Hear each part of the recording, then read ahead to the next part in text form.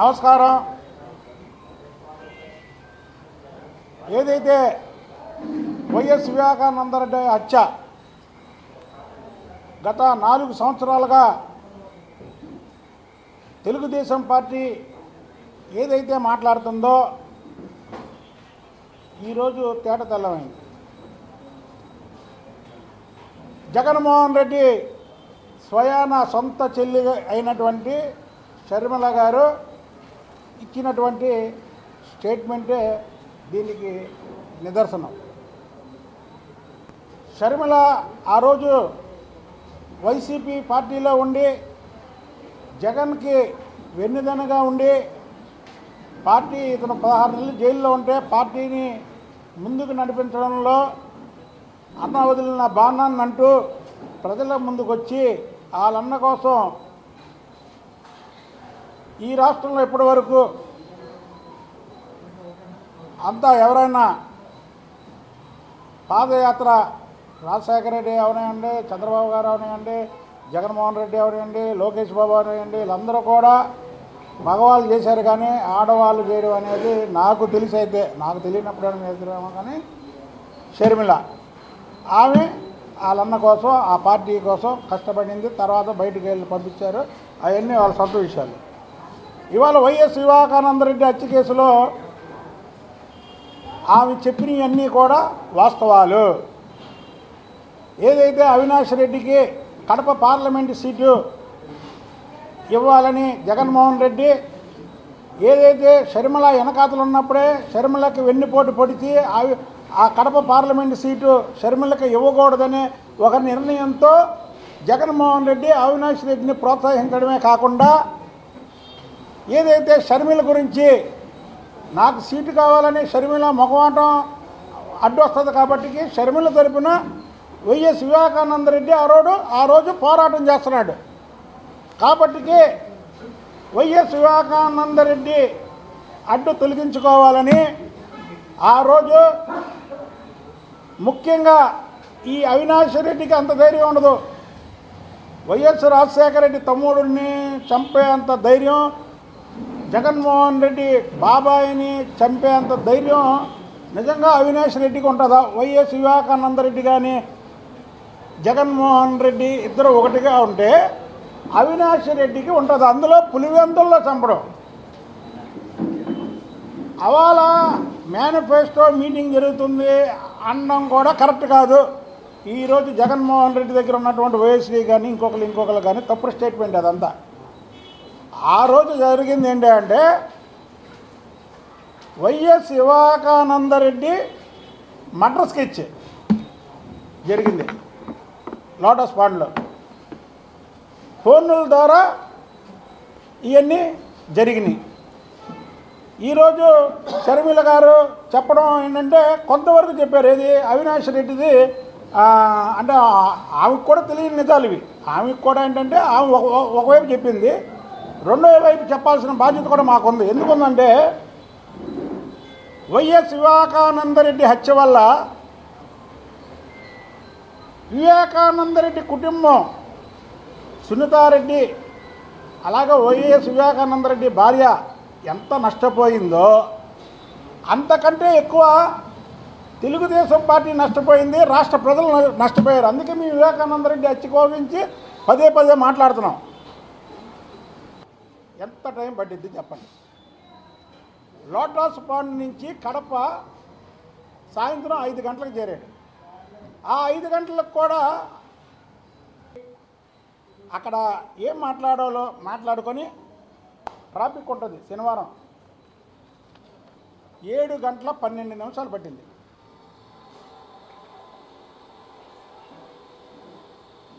ఏది పది యాభై ఏడుకి బయలుదేరితే ఏడు గంటల పన్నెండు నిమిషాలు. నిజంగా బాబాయ్ మీద ప్రేమే బాబాయ్ ఆయన ఒకటే. అసలు బాబాయ్ హత్య కేసులో ప్రమేయం ఏం లేదంటే వైఎస్ వివేకానంద రెడ్డి ఎన్నిసార్లు పార్లమెంట్ సభ్యులు చేశాడు ఎన్నిసార్లు ఎమ్మెల్యేగా చేశాడు. చనిపోయిన ఎమ్మెల్యే ఉన్న పాలంగా బయలుదేరతారు. ఒకవేళ లేదు ఇంట్లో ఆడవాళ్ళు కూడా బయలుదేరాలి అనుకుంటే కొద్దిగా వాళ్ళు ఫ్రెష్ అప్ అవడానికి వాళ్ళు డ్రెస్ చేంజ్ చేసుకోవడానికి టైం పట్టిద్ది. పది నిమిషాలు లేదా పావు గంట లేదా అరగంట. వెంటనే ఎందుకు బయలుదేరలేదు? జగన్మోహన్ రెడ్డి. పది గంటల యాభై ఏడు నిమిషాలకి బయలుదేరితే ఏడు గంటల పన్నెండు నిమిషాలు చూపించింది. అదే తెలిసిన వెంటనే బయలుదేరితే ఇంకో గంట తక్కువలో తక్కువ. గంట కాదు ఇంకా గంట గంటన్నర తక్కువ అయితే గంట. ఆరు గంటల్లోనే వెళ్ళిపోవచ్చు. అంటే పదకొండు గంటలకే పులివెందల చేరుకోవచ్చు. బాబాయ్ హత్య కేసులో జగన్మోహన్ రెడ్డి ప్రమేయం ఏం లేకపోతే తెలిసిన వెంటనే పదకొండు గంటలకి పులివెందలు చేరుకోవచ్చు. ఒకటి. రెండోది. అవినాష్ రెడ్డి ఫోన్ చేస్తే అవినాష్ రెడ్డికి ఫోన్ వస్తే అవినాష్ రెడ్డి వెళ్ళి రక్తపు మడుగుల్లో ఉన్నటువంటి వివేకానంద రెడ్డిని బయటికి తెచ్చాడు. ఓకే. అవినాష్ రెడ్డికి ఏం తెలియదు ఆయన చెప్పినట్టు అనుకుందాం. అవినాష్ రెడ్డి ఫోన్ చేసినప్పుడు చెప్తాడు కదా బాబాయ్ రక్తపు మడుగుల్లో పడిపోయి ఉన్నాడు. బాబాయ్కి దెబ్బలు తగిలిని బాబాయ్ని నరికి చంపారని ఎవరైనా బాడీ చూస్తే చెప్తారు కదా. జగన్మోహన్ రెడ్డి సొంత మీడియా సాక్షిలో గుండెపోటుతో మరణించాడని మధ్యాహ్నం వరకు ఎందుకు వచ్చింది? ఎందుకంటే ఎన్ని వాస్తవాలు ప్రజలకు చెప్పాల్సినటువంటి అవసరం మాకుంది. నీకు అవినాష్ రెడ్డి ఫోన్ చేసినప్పుడు ఈ వాస్తవాలన్నీ చెబుతాడు కదా. బాబాయ్ రక్తపు మడుగుల్లో పడిపోయి ఉన్నాడు చనిపోయాడు అక్కడ. బాబాయ్ ఒంటి మీద దెబ్బలు ఉన్నాయి అన్నీ చెబుతారు కదా.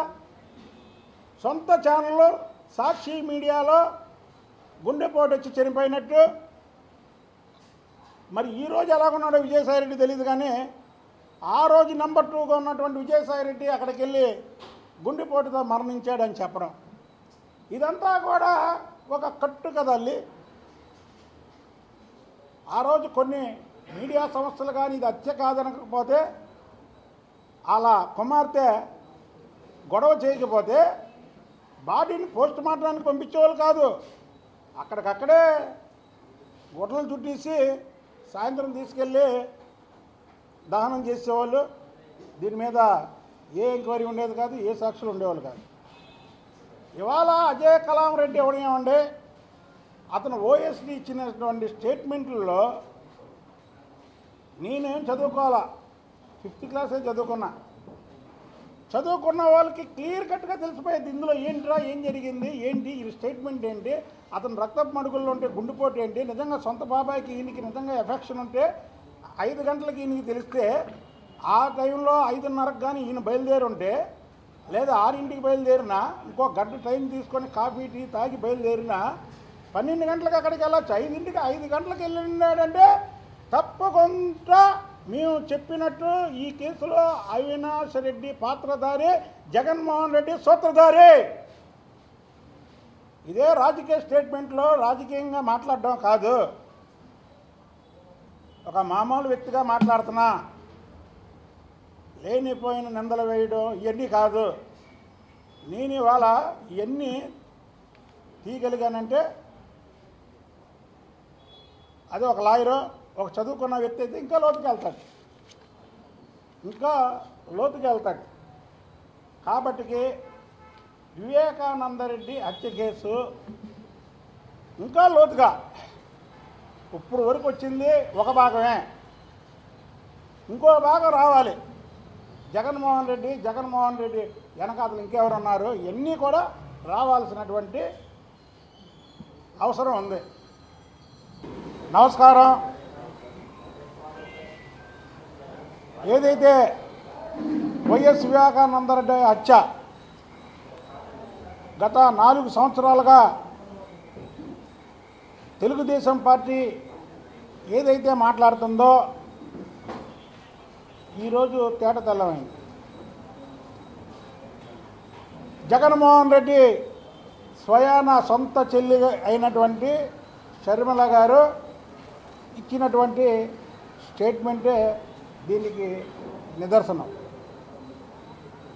షర్మిల ఆ రోజు వైసీపీ పార్టీలో ఉండి జగన్కి వెన్నుదనగా ఉండి పార్టీ ఇతను పదహారు నెలలు జైల్లో ఉంటే పార్టీని ముందుకు నడిపించడంలో అన్న వదిలిన బాణాన్ని అంటూ ప్రజల ముందుకు వచ్చి వాళ్ళన్న కోసం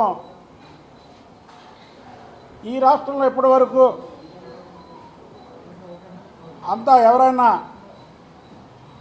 పాదయాత్ర రాజశేఖర రెడ్డి అవనివ్వండి చంద్రబాబు గారు అవనివ్వండి జగన్మోహన్ రెడ్డి అవనివ్వండి లోకేష్ బాబు అవనివ్వండి వీళ్ళందరూ కూడా మగవాళ్ళు చేశారు కానీ ఆడవాళ్ళు చేయడం అనేది నాకు తెలిసి అయితే నాకు తెలియనప్పుడు చేద్దామో కానీ షర్మిల.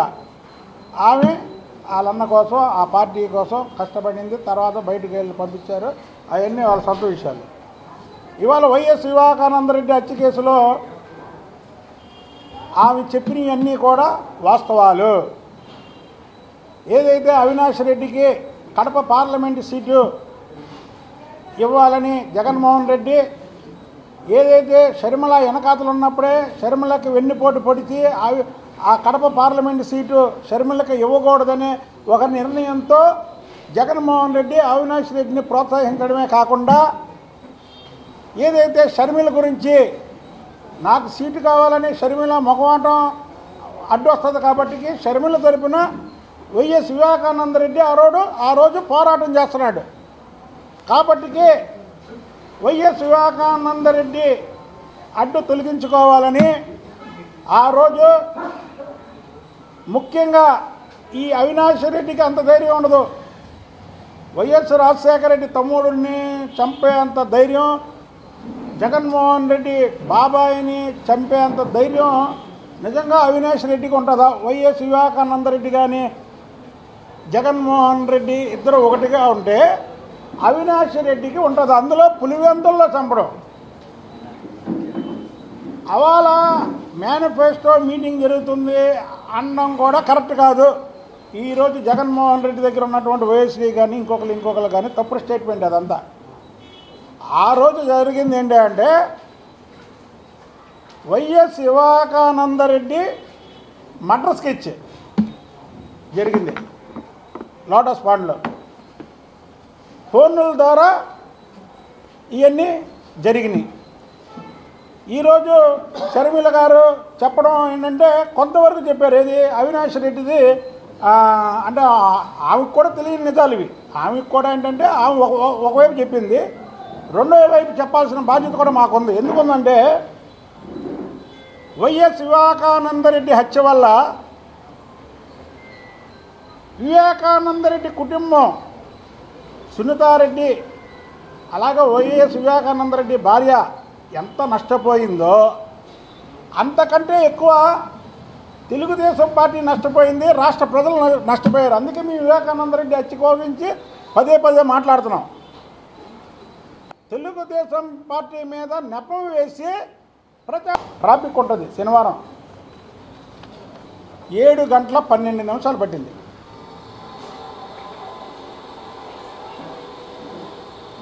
ఏది పది యాభై ఏడుకి బయలుదేరితే ఏడు గంటల పన్నెండు నిమిషాలు. నిజంగా బాబాయ్ మీద ప్రేమే బాబాయ్ ఆయన ఒకటే. అసలు బాబాయ్ హత్య కేసులో ప్రమేయం ఏం లేదంటే వైఎస్ వివేకానంద రెడ్డి ఎన్నిసార్లు పార్లమెంట్ సభ్యులు చేశాడు ఎన్నిసార్లు ఎమ్మెల్యేగా చేశాడు. చనిపోయిన ఎమ్మెల్యే ఉన్న పాలంగా బయలుదేరతారు. ఒకళ్ళు లేదు ఇంట్లో ఆడవాళ్ళు కూడా బయలుదేరాలి అనుకుంటే కొద్దిగా వాళ్ళు ఫ్రెష్ అప్ అవ్వడానికి వాళ్ళు డ్రెస్ చేంజ్ చేసుకోవడానికి టైం పట్టిద్ది. పది నిమిషాలు లేదా పావు గంట లేదా అరగంట వెంటనే ఎందుకు బయలుదేరలేదు? జగన్మోహన్ రెడ్డి. పది గంటల యాభై ఏడు నిమిషాలకి బయలుదేరితే ఏడు గంటల పన్నెండు నిమిషాలు చూపించింది. అదే తెలిసిన వెంటనే బయలుదేరితే ఇంకో గంట తక్కువలో తక్కువ. గంట కాదు ఇంకా గంట గంటన్నర తక్కువ అయితే గంట. ఆరు గంటల్లోనే వెళ్ళిపోవచ్చు అంటే పదకొండు గంటలకే పులివెందల చేరుకోవచ్చు. బాబాయ్ హత్య కేసులో జగన్మోహన్ రెడ్డి ప్రమేయం ఏం లేకపోతే తెలిసిన వెంటనే పదకొండు గంటలకి పులివెందలు చేరుకోవచ్చు. ఒకటి. రెండోది. అవినాష్ రెడ్డి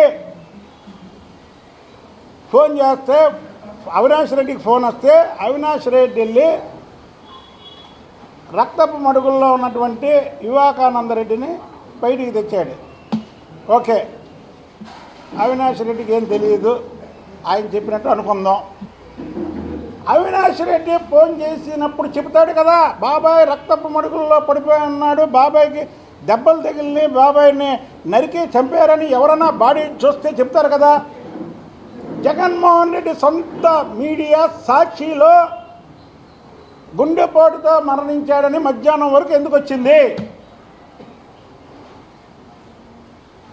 ఎందుకంటే ఎన్ని వాస్తవాలు ప్రజలకు చెప్పాల్సినటువంటి అవసరం మాకుంది. నీకు అవినాష్ రెడ్డి ఫోన్ చేసినప్పుడు ఈ వాస్తవాలన్నీ చెప్తాడు కదా. బాబాయ్ రక్తపు మడుగుల్లో పడిపోయి ఉన్నాడు చనిపోయాడు అక్కడ. బాబాయ్ ఒంటి మీద దెబ్బలు ఉన్నాయి అన్నీ చెబుతారు కదా. సొంత ఛానల్లో సాక్షి మీడియాలో గుండెపోటు వచ్చి చనిపోయినట్టు. మరి ఈ రోజు ఎలాగున్నాడో విజయసాయిరెడ్డి తెలియదు కానీ ఆ రోజు నెంబర్ టూగా ఉన్నటువంటి విజయసాయిరెడ్డి అక్కడికి వెళ్ళి గుండెపోటుతో మరణించాడని చెప్పడం. ఇదంతా కూడా ఒక కట్టు కదల్లి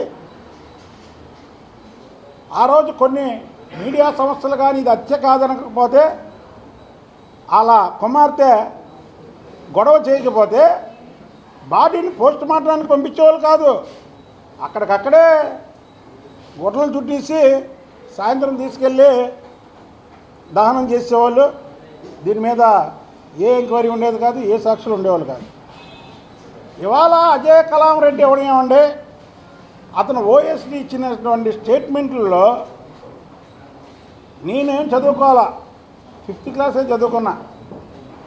చదువుకున్న వాళ్ళకి క్లియర్ కట్గా తెలిసిపోయేది ఇందులో ఏంట్రా ఏం జరిగింది ఏంటి ఈ స్టేట్మెంట్ ఏంటి అతను రక్తపు మడుగుల్లో ఉంటే గుండెపోటు ఏంటి నిజంగా సొంత బాబాయ్కి ఈయనకి నిజంగా ఎఫెక్షన్ ఉంటే ఐదు గంటలకి ఈయనకి తెలిస్తే ఆ టైంలో ఐదున్నరకు కానీ ఈయన బయలుదేరి ఉంటే లేదా ఆరింటికి బయలుదేరినా ఇంకో గంట టైం తీసుకొని కాఫీ టీ తాగి బయలుదేరినా పన్నెండు గంటలకు అక్కడికి వెళ్ళచ్చు. ఐదింటికి ఐదు గంటలకు వెళ్ళినాడంటే తప్పకుండా మేము చెప్పినట్టు ఈ కేసులో అవినాష్ రెడ్డి పాత్రధారి జగన్మోహన్ రెడ్డి సూత్రధారి.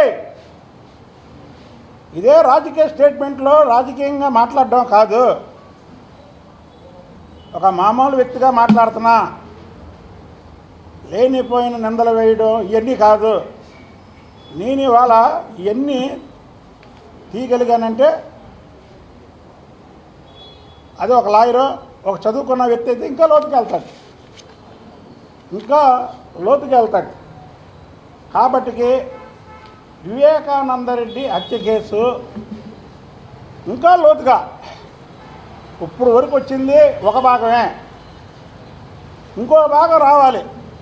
జగన్మోహన్ రెడ్డి జగన్మోహన్ రెడ్డి వెనకాతలు ఇంకెవరున్నారు? ఇవన్నీ కూడా రావాల్సినటువంటి అవసరం ఉంది.